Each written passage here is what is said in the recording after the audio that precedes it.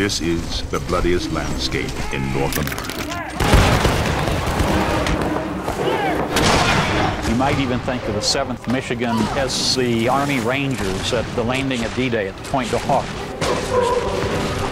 Fredericksburg was the first battle in American military history where you have major street fighting, firing from windows of houses, firing from fences. These men had absolutely no training in house-to-house fighting.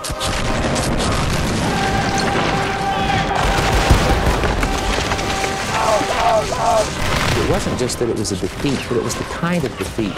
A senseless defeat, a senseless slaughter with frontal assaults against a well-protected foe.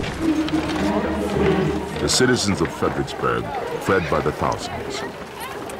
I never saw a more dismal procession. Where they were going, we could not tell, and I doubt if they could.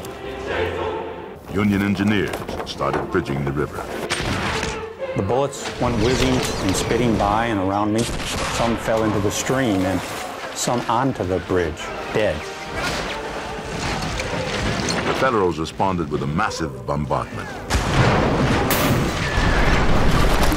There wasn't a, a, single window pane that hadn't been shattered in Fredericksburg, that houses were collapsing left and right, some of them right over their heads. Fredericksburg was the first American city looted by Americans. The Confederates wanted revenge. They wanted to punish the Union troops that had done this. The really decisive military event that occurred at Fredericksburg occurred at Prospect Hill. The Federals struck Jackson at a swampy gap in his line.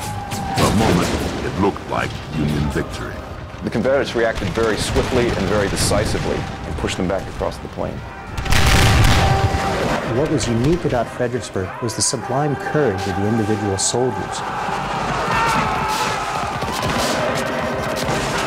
War is hell. We need to go back and try to understand exactly what was at stake in that war and why these men were willing to go through that hell.